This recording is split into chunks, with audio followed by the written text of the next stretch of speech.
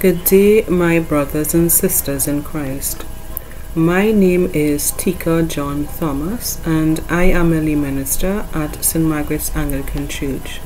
Today, I will be leading us in prayer this Holy Tuesday. I start this service with a prayer in time of disaster, which is found on page 84 the, of the Book of Common Prayer. God of goodness and love in whom we can trust in every hour of our need. Have mercy on all who are faced with fear and distress through this COVID 19 pandemic.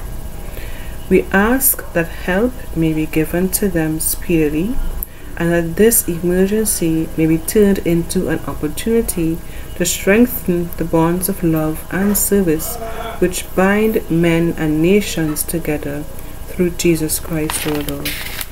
Amen. I continue with the prayer for the future of humanity on page 82. O God, our Heavenly Father, you have blessed us and given us dominion over all the earth. Increase our reverence before the mystery of life and give us new insight into your purposes for the human race and new wisdom and determination in making provision for its future in accordance with your will. Through Jesus Christ our Lord. Amen. I continue with the collect for Holy Tuesday. The Lord be with you. This is found on page 165. O God, by the passion of your blessed Son, you made an instrument of shameful death to be for us the means of life. Grant us so to glory in the cross of Christ that we may gladly suffer shame and loss for the sake of your Son, our Saviour, Jesus Christ, who lives and reigns with you and the Holy Spirit, one God, forever and ever. Amen. Today's Gospel is found in John chapter 12, verses 20 to 36.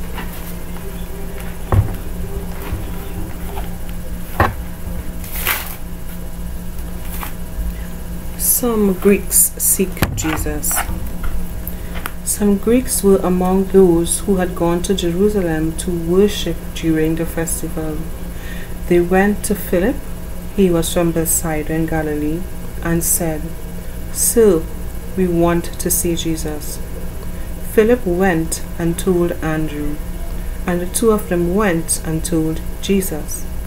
Jesus answered them, The hour has now come for the Son of Man to receive great glory. I am telling you the truth. A grain of wheat remains no more than a single grain unless it is dropped into the ground and dies. If it does die, then it produces many grains.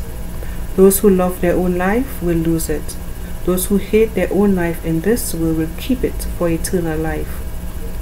Whoever wants to serve me must follow me, so that they may so that my servant will be with me where I am, and my Father will honor anyone who serves me.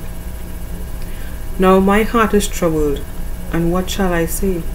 Shall I say, Father, do not let this hour come upon me? But that is why I came, so that I might go through this hour of suffering. Father, bring glory to your name. Then a voice spoke from heaven, I have brought glory to it, and I will do so again.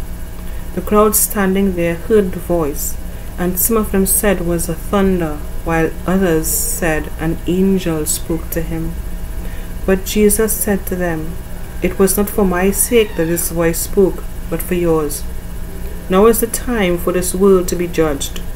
Now the ruler of this world will be overthrown. When I am lifted up from the earth, I will draw everyone to me. In saying this, he indicated the kind of death he was going to suffer. The crowd answered, Our law tells us that the Messiah will live forever. How, then, can you say that the Son of Man must be lifted up? Who is the Son of Man? Jesus answered, The light will be among you a little longer. Continue on your way while you have the light, so that the darkness will not come upon you. For the one who walks in the dark does not know where he is going. Believe in the light, then, while you have it, so that you will be the people of the light. The word of the Lord. Thanks be to God.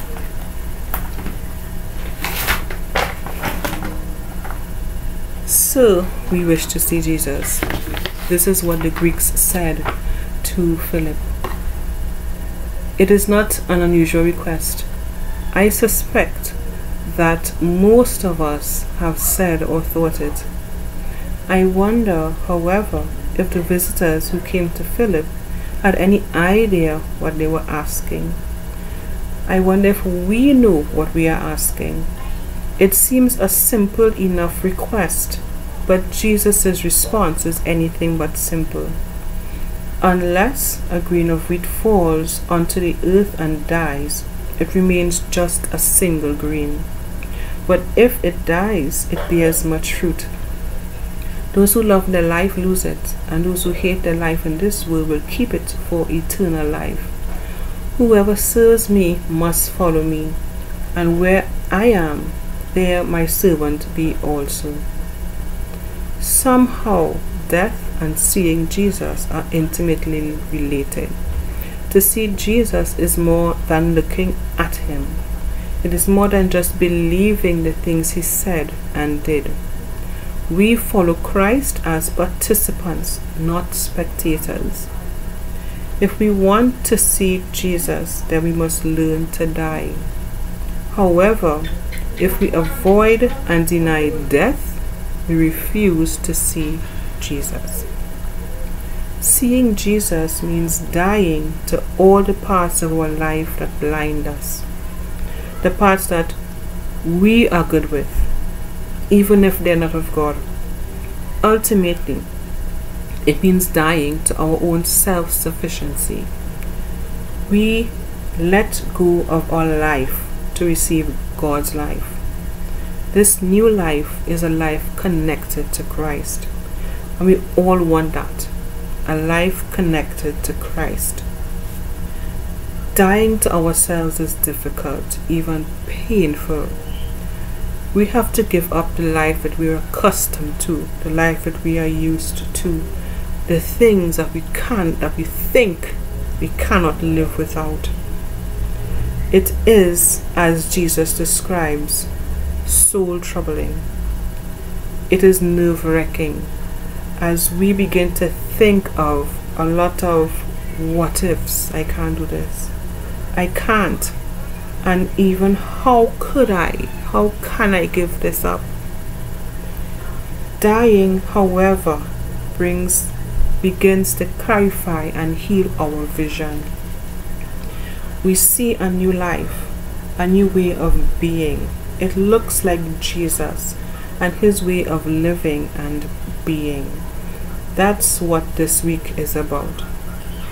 Holy Week is a school of learning how to die and death is the window through which we see Jesus. But we must be careful, however, that we don't get stuck spectating, looking at the window, rather than looking through the window. Dying is not the end, but a means, a way of transforming who we are now to what God needs us to be. Dying means we are looking through the window. We are means we are being participant. Do you want to see Jesus? Look at the ways in which and places where, where your life is most guarded, insulated, and isolated. Those are places of blindness, places that need to die, that need that we need to let go of each one of those is a grain of wheat containing fruit. Let it fall into the earth and die, and you will see Jesus. I want you to continue with me as I make my intercessions. Brothers and sisters, I ask for your prayers for our nation and all the nations of the world during this COVID 19 pandemic. Pray for all those in need and trouble. Brothers and sisters, I ask for your prayers for the leaders of our nation and all nations of the earth. Let us pray that they continue to make sound decisions to keep all their people safe at this time. Brothers and sisters, I ask for your prayers for the medical professionals working hard at finding a cure for this disease. Pray that the Lord, through their knowledge and expertise, gives them the positive result that the world so desperately needs. Brothers and sisters, I ask for your prayers for all the medical frontliners working with those suffering from this dreaded disease. Pray that the Lord continues to give them strength to continue doing what they are doing and keep them safe while working with those who have been infected. Brothers and sisters, I ask for your prayers for all persons throughout the world who have been infected. Pray for a speedy recovery. Brothers and sisters, I ask for your prayers for those who have died from COVID 19, especially those of our country. Pray that they will be our only casualties in this land, and pray for all their souls. Brothers and sisters, I ask for your prayers for the families of those who have been infected or who have died during this pandemic. Give them strength and faith in this time.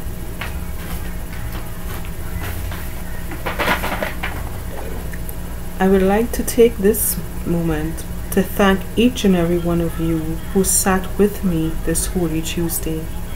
I pray that God continues to protect you and your family and friends. I look forward to seeing all of you where we are once again able to assemble in God's house. Do enjoy the rest of your day.